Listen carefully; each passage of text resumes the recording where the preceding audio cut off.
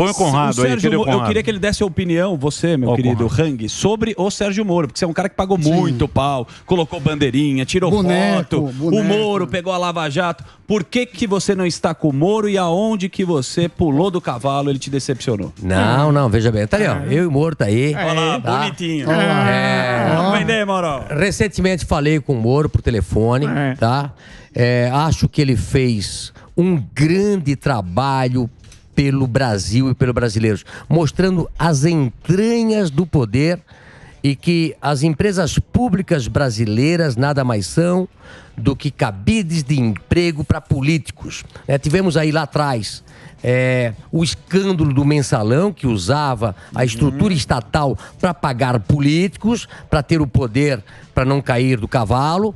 E depois vimos aí a Petrobras do Petrolão também usando bilhões e bilhões e bilhões para pagar políticos para se manter no poder. Então, é, a Lava Jato continua é, batendo palma por tudo que a Lava Jato fez pelo Brasil.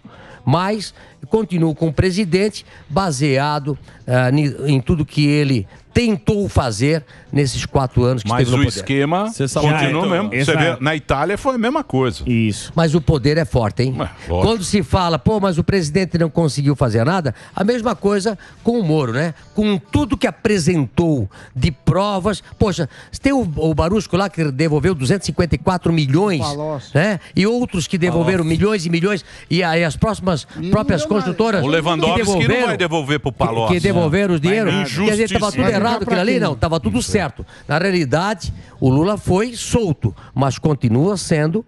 é, não é inocente. Não, vai- não é vai inocente. caducar, Não pô. é inocente. Vai mas não é caducar. inocente. Não é Vai inocente. Então, caducar. ele, Não, o que povo vai. sabe quem está certo, que está errado. Não vai se perder. Tenho certeza que o povo brasileiro não quer virar nem uma Venezuela, nem uma Argentina.